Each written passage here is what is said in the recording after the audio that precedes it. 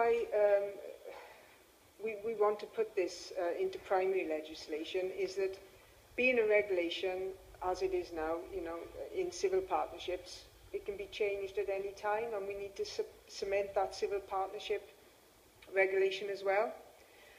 Um, this is, as the Honourable um, Lady from um, Meriden said, this is the result of a long campaign, a petition in January 2014 on change.org collected over 70,000 signatures. A campaign on Twitter followed with a hashtag, hash mothers marriage certs, and uh, that had heavy, heavy coverage from the BBC, the Telegraph Wonder Woman journalists, and the New Statesman. And that's a, a varied um, uh, element of the press uh, to be supporting such a, such, an uh, such a bill, uh, such a change.